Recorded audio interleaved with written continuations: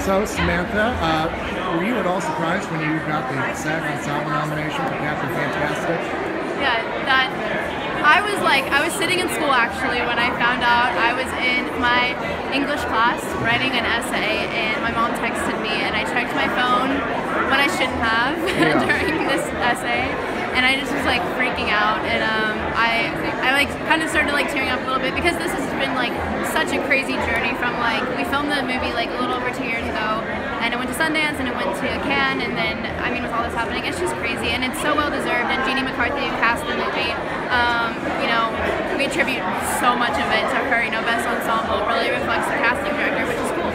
So I'm I'm completely thrilled, and I can't wait for next week.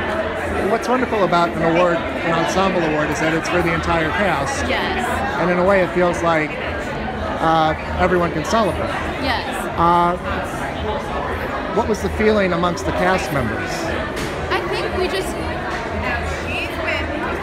we were just proud of each other because we know it was such a unique film just in the fact that we all are so close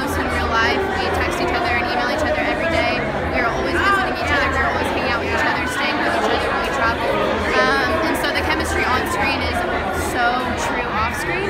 So I think we were just proud of each other because we really are a family. And so it was just like all of our hard work and you know all of the bonding and you know our relationship obviously carried through um, because of that nomination. So very, we were just very proud of each other.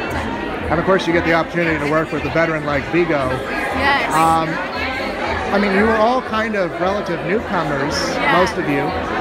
What did he, as a veteran actor, help give you that, acting opposite him, that, that helped you with your own performance?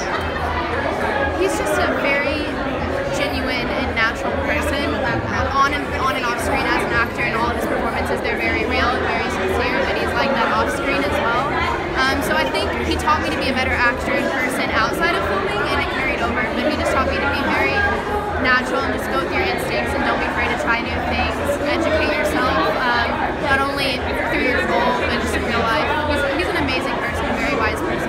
And then, of course, Matt Ross is a great actor in his own right. So, equally amazing I love adore him what did he give you?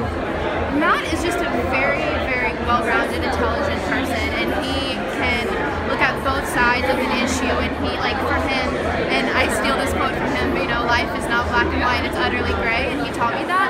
Um, so you can learn from everything, um, and he's, he's just a very, very, very well-rounded person. And I, he's just taught me a lot. He's made me want to be more engaged in the world and read